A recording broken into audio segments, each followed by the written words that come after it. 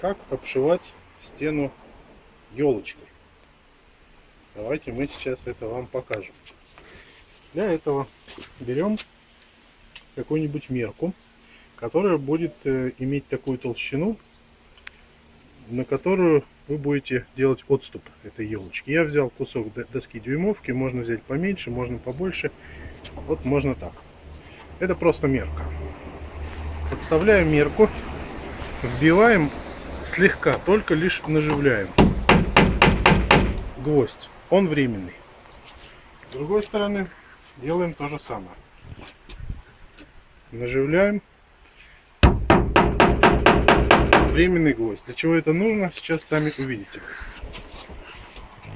Потом берем доску и ставим ее вот на эти вот временные гвозди.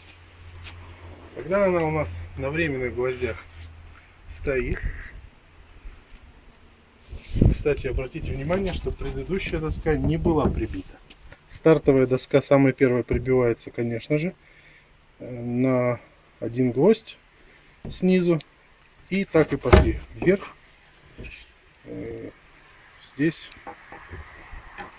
мы пробиваем гвоздем так, чтобы он прошил обе доски под наклончиком.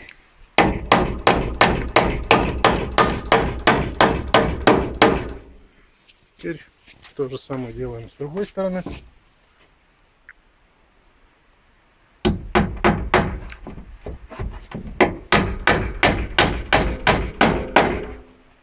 Эти гвозди можно, в принципе, вытащить.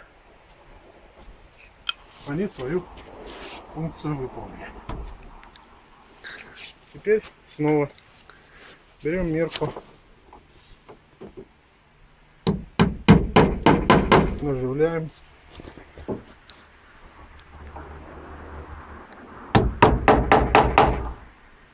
Берем следующую доску.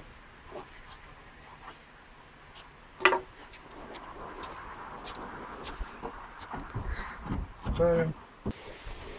И вот, наживив следующие гвозди, ставим досочку, так как нам нужно. Снова пробиваем наискосок, чтобы оно прижало обе доски.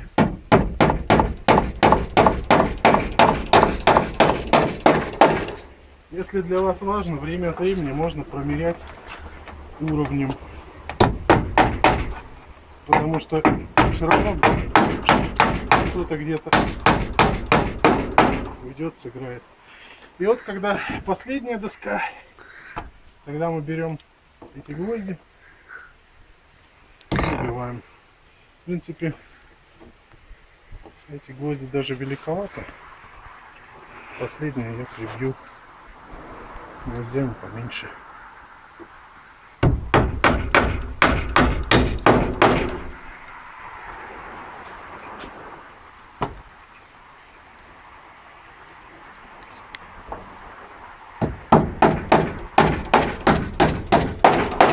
Вот так вот можно обшивать стену или забор елочкой или лесенкой. Не знаю, как это правильно называется. Мне кажется, больше похоже на елочку. Желаю успехов!